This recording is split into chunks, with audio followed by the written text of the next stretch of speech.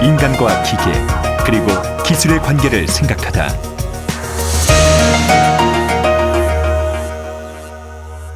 (2017) 광주 미디어 아트 페스티벌